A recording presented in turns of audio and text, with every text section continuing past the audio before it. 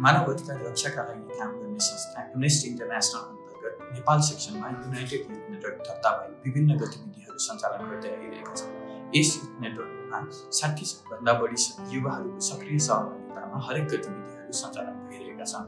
मानव अधिकार उल्लङ्घनका बढ्दै गएको परिस्थिति तथा युवाहरूको समाजप्रतिको दायित्व बोध गर्दै सन् दुई हजार अठारमा यस संस्थाको स्थापना गरेका थियौँ।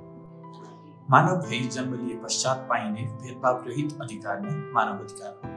यसै मानव अधिकारभित्र यौन अधिकार पर्दछ। यौन अधिकार भन्नाले यौन गतिविधि तथा प्रजनन स्वास्थ्य स्वतन्त्रताको अधिकार बुझिन्छ। कुनै पनि महिलाको इच्छा विपरीत यौन सम्बन्ध राख्नु यौन अधिकार विपरीत पर्दछ। यौन तथा प्रजनन स्वास्थ्य अधिकार युवा वर्गको लागि महत्त्वपूर्ण भाग हो। तर युवा वर्गमा यसको ज्ञान भने अझै अपुर र अपर्याप्त रहेको पाइन्छ।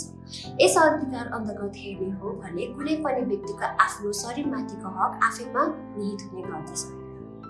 यौन अधिकार मानव अधिकारकै अङ्ग मान्दै यस विविध गतिविधिहरू गर्दै आएको छ। विभिन्न सङ्घ संस्थाहरूको सहकारीमा होस् या आफै यस युथ नेटवर्कले महिला हिंसा विरुद्ध तालिम पनि दिँदै आएको छ। विद्यालय स्तरमा यस सम्बन्धी शिक्षाको आवश्यकता बोध गर्दै विभिन्न विद्यालयहरूमा एसआरएचआको तालिम साथसाथै सेक्सुअल राइट सम्बन्धी वक्तृत्व कला पनि आयोजना थियो। यति मात्र नभए मेन्स्ट्रल हाइजिन सम्बन्धी कक्षा बाह्रसम्मका विद्यार्थीहरूलाई जनचेतना कार्यक्रम पनि दिएको थियो। वाइपिआर नेपालसँगको सहकार्यमा स्थानीय युवा वर्गमा तालिमका साथै मेन्टल हेल्थ सम्बन्धित विविध कार्यक्रमहरू पनि गरेका थिए।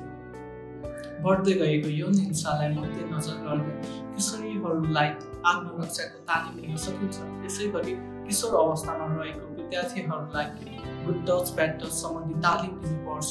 विद्यालयमा मेन्सुरेसन हाइजिनका निम्ति मेन्सुरेसन किट उपलब्ध गराउनु पर्छ भन्ने सचेतना कार्यक्रम गर्नुपर्छ। साथसाथै भविष्यमा यस्तै विभिन्न कार्यक्रमहरू गर्नुपर्छ।